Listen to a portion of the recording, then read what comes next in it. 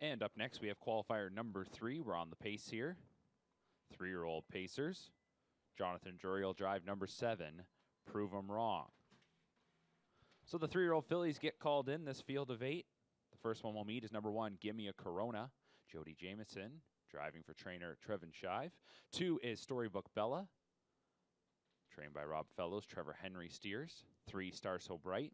Greg McNair trains, Doug McNair drives. Four is Big Big Plans, Bob McIntosh the trainer, James McDonald the driver. Five is Charming Vixen. Blake McIntosh trains, Bob McClure in the sulky. Six is Horizontal. Kevin Ben the trainer, the driver Sylvain Filion. Seven is Prove 'em Wrong. Anthony Beaton trains, make the driver Jonathan Drury. And the eight is Lions Better Day. Also trained by Beaton, Louis Waugh will steer. Horses on gate for qualifier number three. Here they come.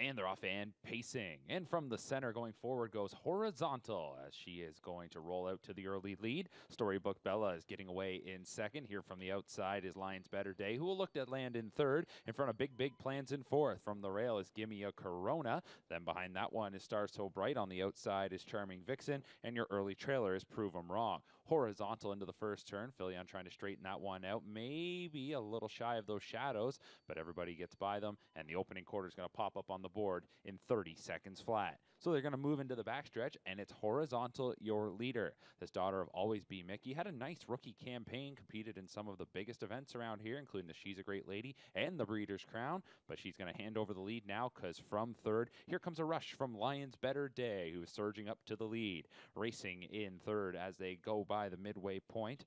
Uh, it is going to be Storybook Bella, who is being tracked in fourth by Big Big Plans. The half was hit in 57 and 4, so they were scooting right along, and you could see it there as they got some separation up at the front. Second quarter was paced in 27 and 4, even quicker for Lions Better Day. And Lions Better Day is the leader. Horizontal in second, Storybook Bella in third, Big Big Plans is in fourth. Four lengths then going back to Gimme a Corona. To the outside comes Charming Vixen, and then it is Star So Bright, and the trailers prove them wrong. It is Lions Better Day coming to three quarters with horizontal right on her helmet. They're past three quarters in 126 and 4. Off the turn and into the stretch. Lions Better Day brings them into the lane. Will try and get away on horizontal in second. Behind in third is Storybook Bella. Center of the track, big, big plans. And widest of them all is Charming Vixen. Final eighth of the mile. Lions Better Day. Here's horizontal taking a shot on the outside, trying to surge on by. And horizontal will strike the lead in the final 16th. It's horizontal to win it. Finishing the second, Lions Better Day on the outside. Big Big Plans was third, and fourth was Storybook Bella.